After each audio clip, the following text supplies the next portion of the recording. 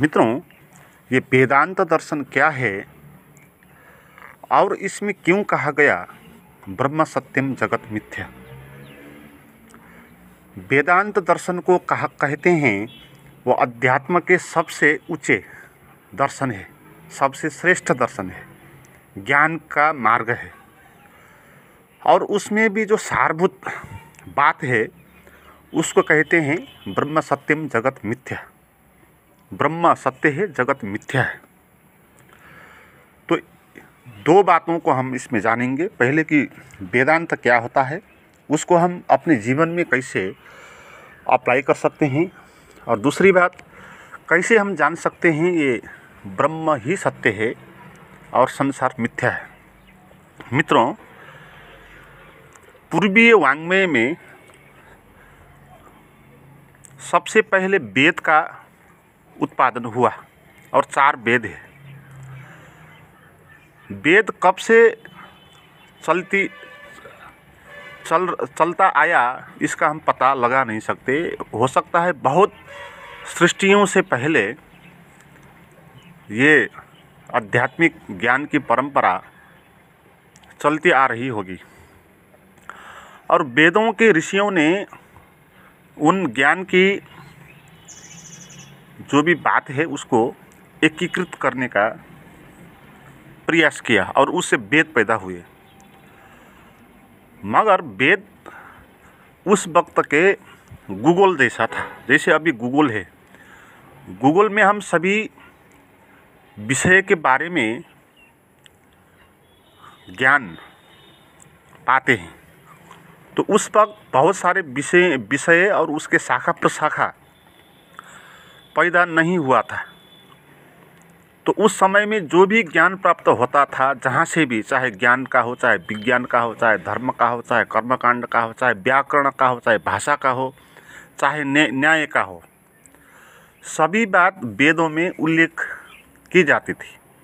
अभी तो बहुत विषय अलग अलग है और उनके शाखा प्रशाखाएँ हैं, मगर उस वक्त वेद एक इंसाइक्लोपीडिया जैसा था। जहाँ से भी, जिसने भी, जो भी खोज करके, आविष्कार करके ज्ञान को उत्पादन किया, उसको वेद में संकलित कर देते थे। इसलिए वेद शुद्ध धर्म और अध्यात्म का शास्त्र ही नहीं है। उसमें बहुत सारे ऐसे भी श्लोक है जो कर्मकांड पर आधारित है। बहुत ऐसे श्लोक है जो भाषा, व्याकरण पर आधारित है, जो न्याय पर आधारित है। तो बाद में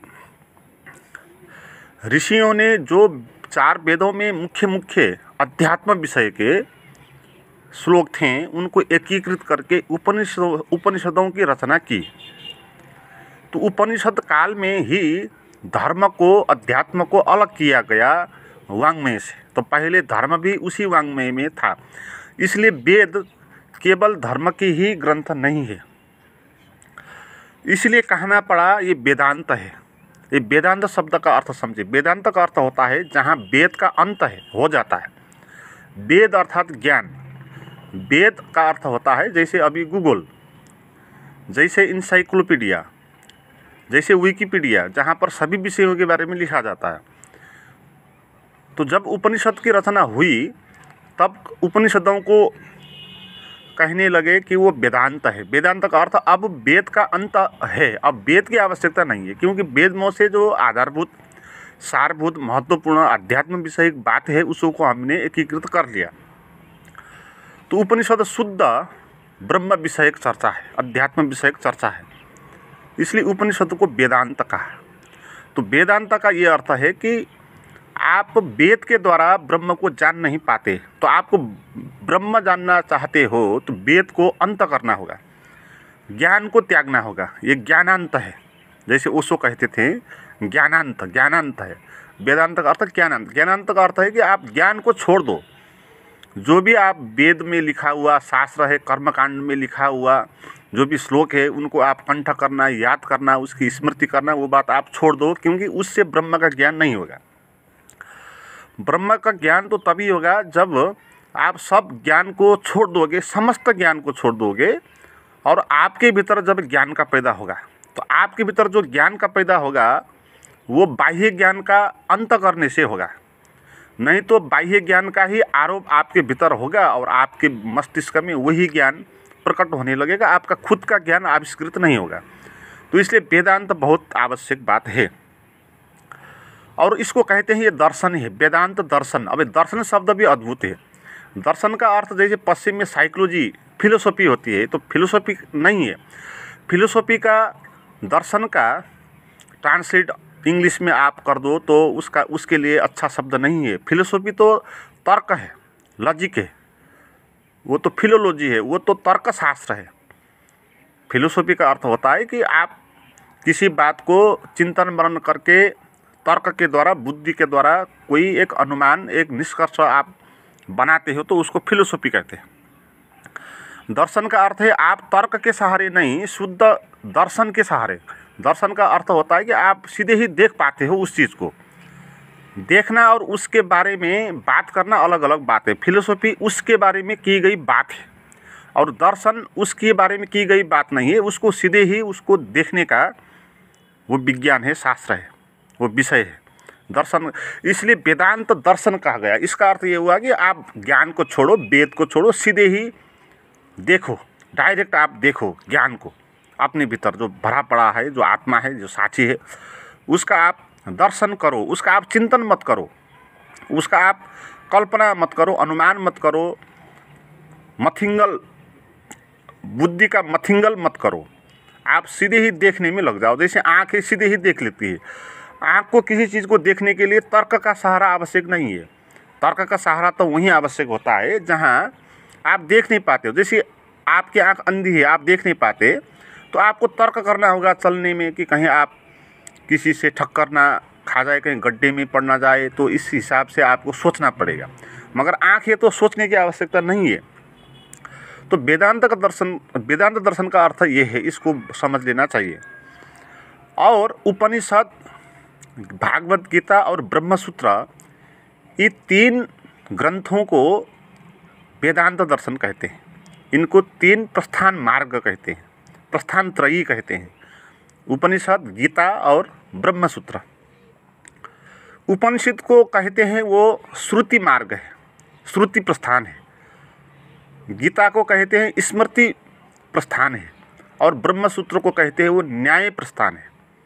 उपनिषद को क्यों कहा वो श्रुति मार्ग क्योंकि उपनिषद को श्रवण करना है। उपनिषदों को श्रवण करके ज्ञान का अंत करना है और फिर स्वयं का दर्शन करना है।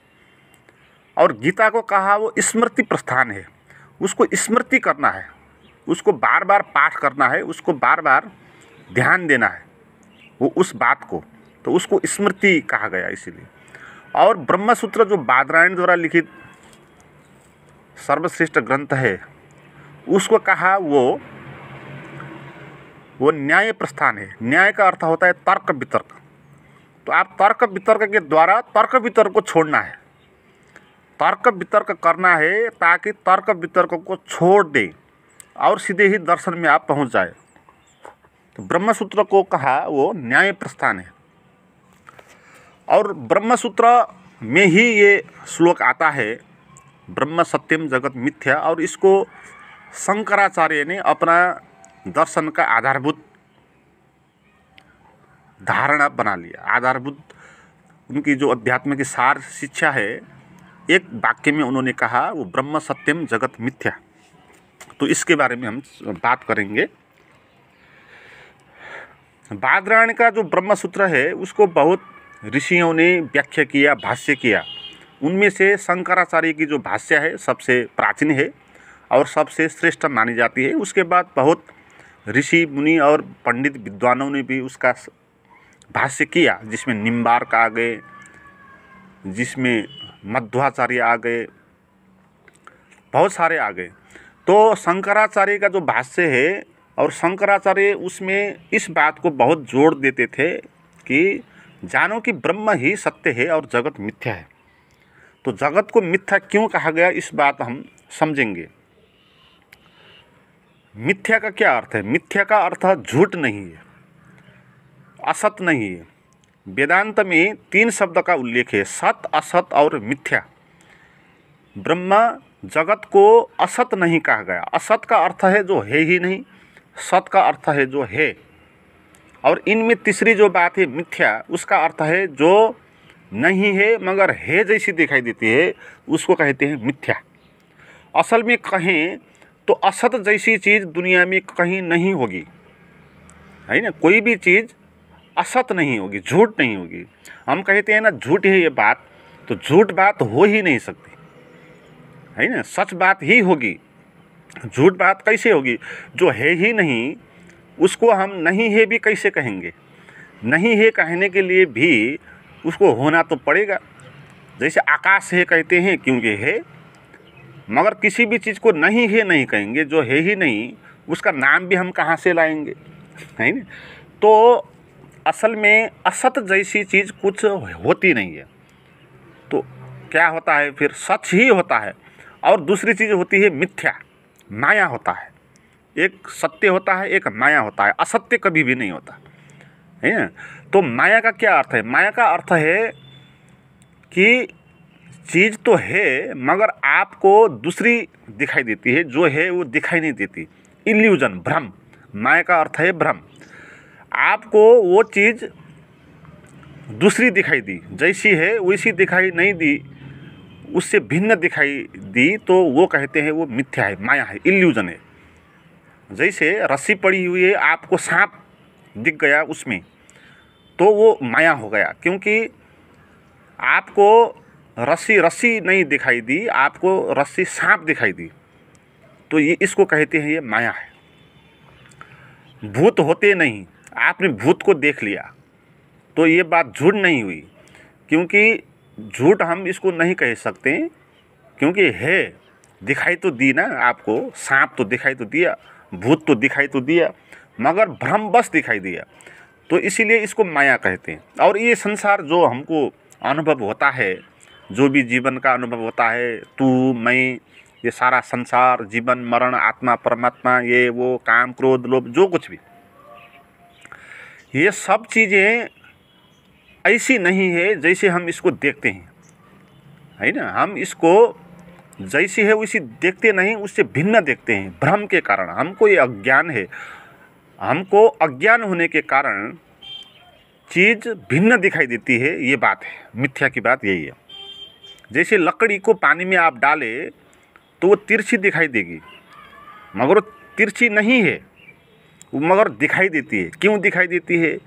क्योंकि ये सूरज का किरण जो पानी में रिफ्लेक्शन होके आपके आँख में बिंब बनाएगा तो सूरज की किरणों को पानी से आने के कारण किरणें टेढ़ी मेढ़ी हो जाएगी। तो आपको लकड़ी भी टेढ़ी मेढ़ी दिखाई पड़ेगी।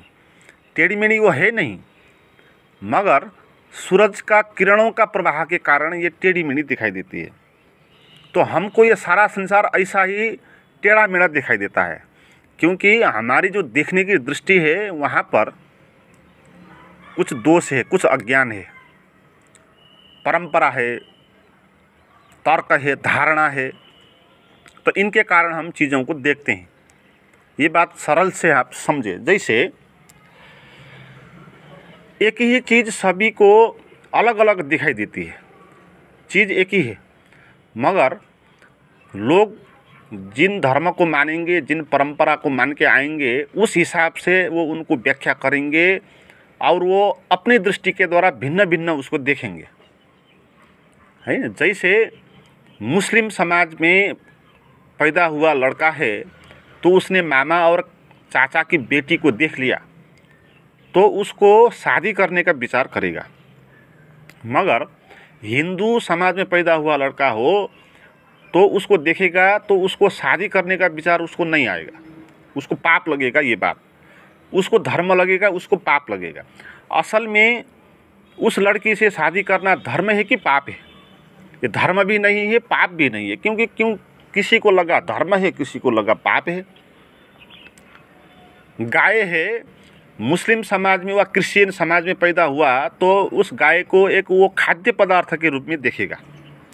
मगर हिंदू समाज में पैदा हुआ हो तो उसको खाद्य पदार्थ के रूप में तो कतई भी नहीं देखेगा। तो असल में गाय क्या है? जिसने गाय को देखा, उसने गाय को जैसा गाय है, वैसा देखा नहीं उसको तिरछा देखा आड़ा टेढ़ा करके देखा। उसमें अपनी धारणाओं को थोप के उसको देखा। तो ये हुआ माया। तो इस संसार को हम कहते हैं कि, है वास्तव में ये संसार नहीं है भी नहीं कह सकते हैं इसको। क्योंकि हमको दिखाई तो दिया ना। गाय हमको खाद्य पदार्थ के रूप में या पूजा करने के रूप में दिखाई तो दिया। मगर हमको जो दिखाई दिया, वो और असल में जो गाय है, वो एक बात नहीं है। तो इसलिए हमको जो दिखाई दिया, वो माया हो गया, वो मिथ्या हो गया, वो अज्ञान हो गया। हमने कुछ चीज़ को, कुछ कुछ चीज़ देख लिया।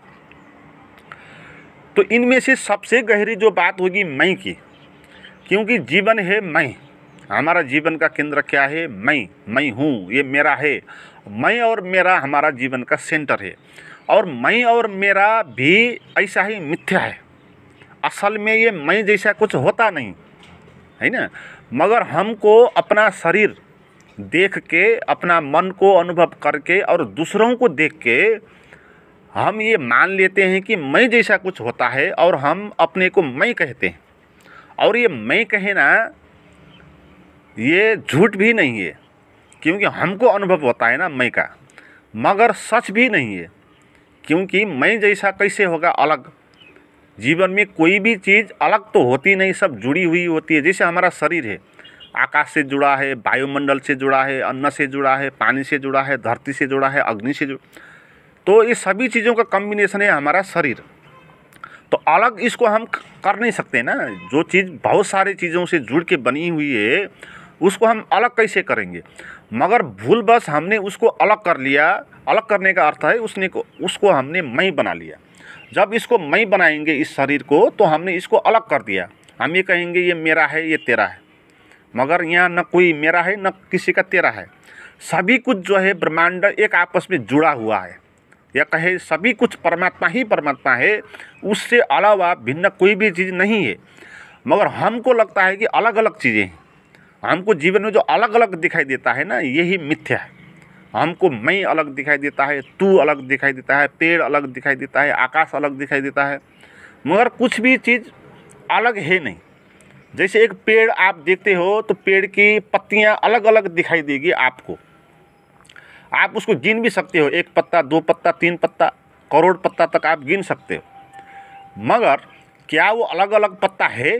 अगर अलग पत्ता है तो वृक्ष से नहीं जुड़ा होना चाहिए, है ना? मगर वो तो वृक्ष से वृक्ष से जुड़ा हुआ है। तो एक ही है वो, पत्ता अलग है नहीं, मगर दिखाई देता है, ये इसी को कहते हैं मिथ्या। है ना? ये आँख के रोशनी का रिफ्लेक्शन के कारण ये इल्यूजन पैदा हो गया, हमको लगने लगा कि ये अलग अलग चीज़ है। ये संसार हमको अलग अलग दिखाई देता है। आदमी, दूसरा आदमी को हम अलग आदमी दिखाई देता है। मगर गहरे में देखे, वो आदमी और आपका जो शरीर है, वो और उसका जो शरीर है, एक ही है। एक ही है ना? एक ही वायुमंडल से आप ऑक्सीजन लेते हो। आप जो ऑक्सीजन निकालते हो, वही ऑक्सीजन वो लेता है। वो जब ऑक्सीजन फालता है, वही आप लेते हो। एक ही धरती पर आप हो, एक ही पानी और अन्न का सेवन करते हो तो दो शरीर है ही नहीं। मगर ये दिखाई देते हैं दो। क्यों दिखाई देते हैं? जैसे लड़की पानी में, लकड़ी पानी में तिरछी दिखाई देती थी। क्यों? क्योंकि प्रकाश के कारण। है ना? ये ये मिथ्या प्रकाश के कारण हुआ। बीच में पानी ने अवरोध कर लिया और लकड़ी का जो आपके आँख में चित्र बन, बन बनना था वो प्रकाश आना था वहाँ से और पानी से गुजर के प्रकाश आना पड़ा तो प्रकाश आड़ा टेढ़ा करके आया। तो आपको लक, लकड़ी तिरछी दिखाई दे दी। तो ऐसे ही ये चीज़ें अलग अलग हमको दिखाई देती है क्योंकि हमारी आँख के कारण। है ना? हमारी आँख में उसका चित्र बनता है और उसका हाइट वेट भिन्न जैसा वो दिखाई देता है, इसको हमको लगता है कि यह संसार है। संसार का क्या अर्थ है? अलग अलग भिन्न चीज़ें का अनुभव करना यही संसार है और अपने को मैं कहना यही संसार है। मगर न मैं कुछ अलग है, न तू कुछ अलग है, सभी कुछ जुड़ा हुआ है। ये सत्य है। इसी को कहते हैं ये ब्रह्म है। ब्रह्म सत्यम जगत मिथ्या का अर्थ यही है कि ब्रह्म ही सत्य है, अर्थात ब्रह्म एक ही है, वही सभी जगह फैला हुआ है, वो दो नहीं है, मगर उससे प्रकट हुआ जो प्रकृति है, जो जड़ पदार्थ है, उसका आकार होता है, रूप होता है। आकार और रूप होने के कारण और प्रकाश के रिफ्लेक्शन का कारण वो हमारी आँख को अलग अलग दिखाई देता है और हम उस भ्रम में पड़ जाते हैं और हम जीवन को जीवन को जीवन मानते हैं, संसार को संसार मानते हैं। मगर संसार जैसा कहीं पर है नहीं। कुछ भी अलग, भिन्न है नहीं। मगर पदार्थ को हम देखेंगे तो वो अलग दिखाई पड़ेगा। तो इसलिए ये भ्रम पैदा हो गया हमको, हम अपने को मैं कहने लगे। तो इसको कहते हैं ये मिथ्या है। तो मिथ्या का अर्थ हुआ, आपको एक चीज़ दूसरी जैसी दिखाई दे गई। क्यों? इल्यूजन के कारण, मान्यताओं के कारण, प्रकाश के कारण। अब कारण बहुत होंगे, जो आँख होगी, प्रकाश के कारण उसको अलग दिखाई पड़ेगा। और आपका जो मई होगा, वो विचारों के कारण आपको अलग दिखाई देगा। है ना? ये मन भी एक आँख है, मन में विचारे हैं, धारणा है, हमने क्या क्या सुन लिया क्या क्या जान लिया क्या क्या अपने दिमाग में हमने थोपर लिया। तो उस हिसाब से हम चीज़ों को व्याख्या करेंगे, जान, जो भी हम व्याख्या करेंगे, जानेंगे, वो सब इल्यूजन पर आधारित होगा।